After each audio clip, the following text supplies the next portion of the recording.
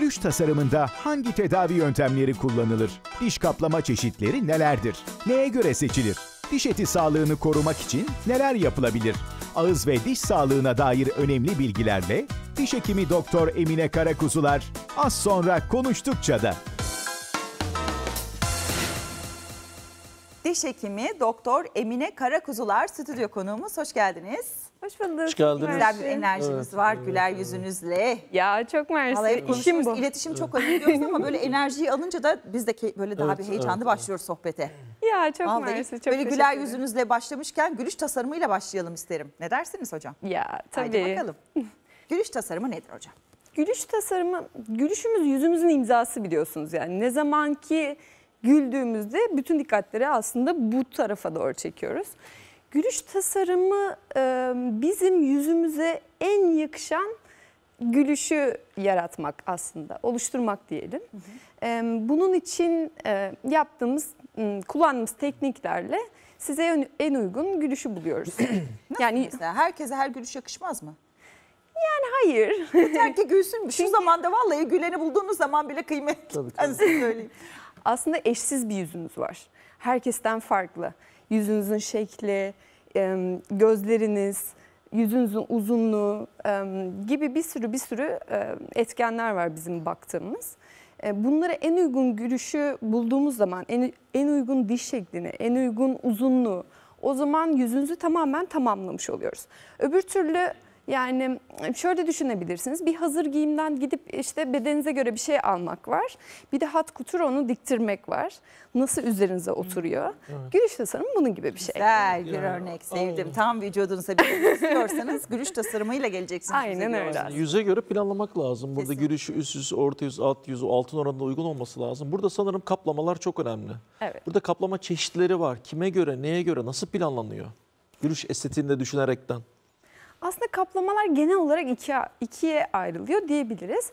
Biz sadece ön yüzden yaptığımız kaplamalar var. Bir de dişlerin full e, kapladığımız şekilleri var.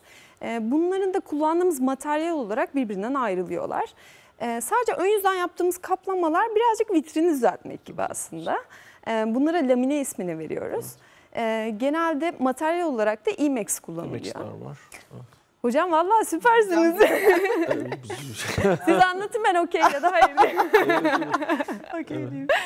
Ee, bir de full kaplamalarda e, birkaç çeşit malzeme kullanabiliyoruz. Bir metal altyapılı porselenler var. Bunlar artık birazcık demode oldu diyebilirim. Çünkü e, teknoloji çok fazla gelişti ve biz de onun nimetlerinden yararlanmamız lazım. E, metal yapılı porselenler birazcık ışık geçirgenliğini kendi dişimiz gibi taklit edemiyorlar. Evet. O yüzden artık daha fazla kullandığımız zirkon altyapılı ve e, IMEX'ler var. Bunlar e, estetik olarak bize muhteşem e, gülüşler sağlayabiliyorlar. IMEX ile zirkon arasındaki fark ne? Ben bunu merak ettim mesela. Materyal Materyal farkı. farkı. Burada IMEX'i mi siz ön planda tutuyorsunuz? Kişiye göre mi belirleniyor acaba? Tam olarak ön planda tutuyoruz aslında Evet. gerçekten. Çünkü e, ön bölgede estetiğin daha önemli olduğu yerlerde IMEX kullanıyoruz. E, çünkü ışık geçirgenliğini Doğal oluyor. Tamamen birebir taklit Birebir. edebiliyor. Işığa göre doğal yani bu kalemun gibi mi?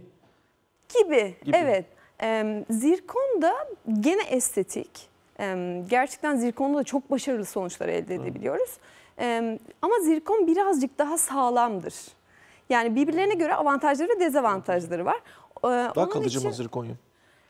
yani arka bölgede çiğneme bölgesi çok fazla basınç alan bir bölge. O yüzden arka bölgelerde zirkon daha çok Tercih tercih, edilebiliyor. ediyoruz. Hı. Peki şimdi bu porselen, zirkon, lamine, emax var bir de bak. Emax'ı Emax. duymam. O Emax. nasıl bir şey? Ee, işte az önce anlattım malzeme Ya bunların aslında malzeme birbirine farkı. yakın e, şeyler ama kullanılan ma- materyaller mi farklı? Aslında tam olarak materyal gibi yani lamine e, kaplamanın bir çeşidi. Az önce anlattığım gibi işte sadece ön yüzden yaptığımız Lamine en çok şeyler. ön dişlerde kullanılıyor herhalde. Em, evet Daha ince yani sanırım. gülerken görünen dişlerde. Öndeki 4-5 Aynen. tane işte. Aynen tabii vitrini düzeltmek için. Em, diğer o porselen dediğimiz aslında metal altyapılı porselen. Yani halk arasında porselen diye artık adı. Peki porselen biraz daha geride mi kaldı değil mi teknolojide? Yani evet, eskiden aynen. porselen çok popülerdi çünkü. Hatırlıyorum porselen diş yaptırdı mı böyle araba ev almışsın gibi hava yaratıyordun. Benim porselen dişlerim var. Şimdi artık onlar bitti sanki. Ya bir şey itiraf edeceğim. Şimdi ben çok küçüktüm böyle 4-5 yaşlarında. Ee, ablalarım ve abim benimle birazcık böyle uğraşırlardı. Onlara derdim ki büyüyünce dişlerimi porselen, yaptıracağım. Kocaman bir villa alacağım. Tabii bak. Seni bekçi, Bak. sizleri de hizmetçi yapacağım diyordum. O, Yani. iddialı bir giriş olmuş çocuklukta.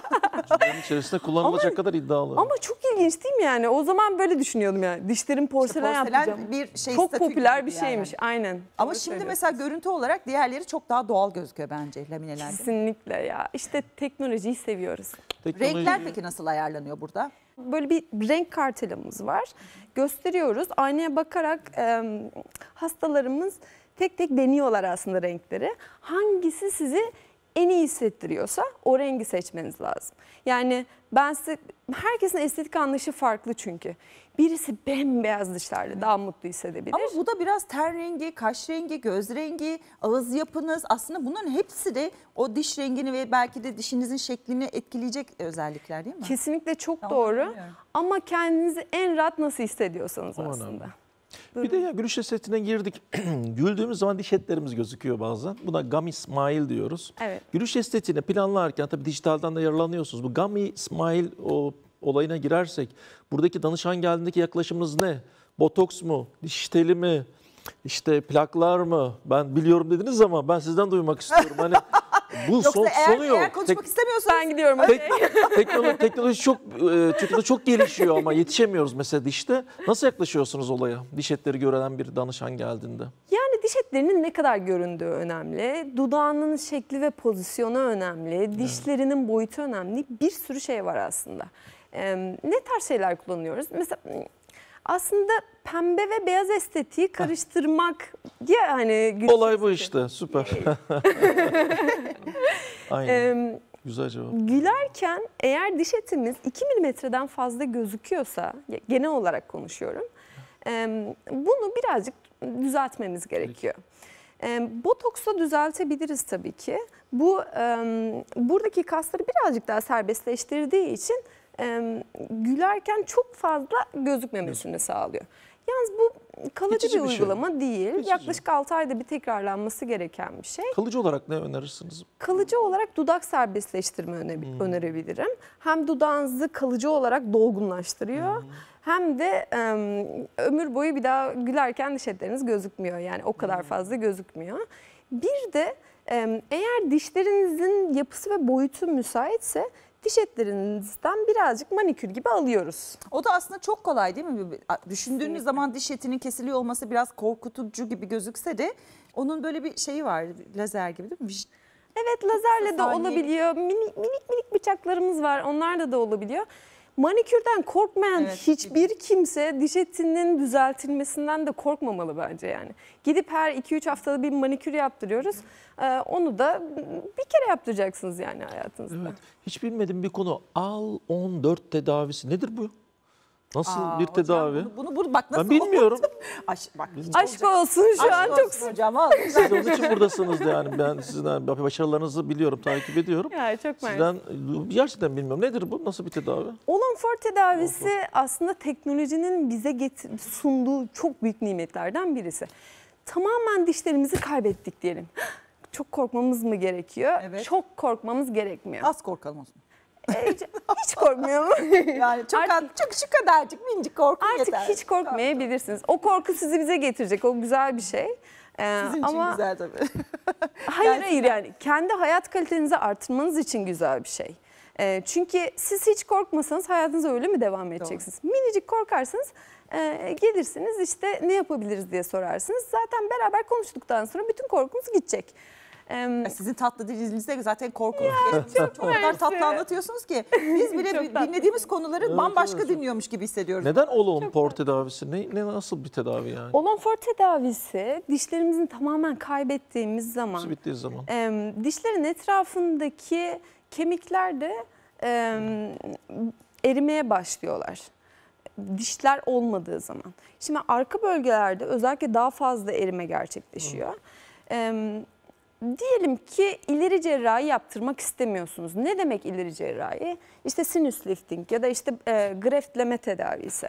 Bunları yaptırmak istemiyorsanız ya da arka bölge artık bunu yapmaya müsait değilse o zaman ön bölgeye e, iki tanesi açılı olmak kaydıyla dört tane implant yerleştiriyoruz E, ve size full dişler sağlıyoruz. Süper. Gerçekten süper. Ve bir avantajı daha var. Evet. Normalde implantları yaptıktan sonra e, implant üstünü yapana kadar yani işte bu 3-4 ay süresince takıp çıkarmalı bir protez kullanmak zorunda kalıyorsunuz. Ama Olonfor'dan sonra ilk gün, ilk cerrahi günü size geçici de olsa sabit bir protez takıp e, öyle uğurluyoruz. diyorsun. çok güzel bir e, anlatımla, çok güzel bilgiler verdiniz. İyi ki de geldiniz. Çok, mersi. teşekkür Çok ediyoruz. Teşekkür ederiz. Çok mutlu Siz olduk. de çok iyi ev sahiplerisiniz. Ah, çok çok mersi. teşekkür ederiz. Sağ olun. Sağ olun. Biz de sohbetimize doktor öğretim üyesi Erdem Tezcan'la devam ediyoruz. Haydi bakalım.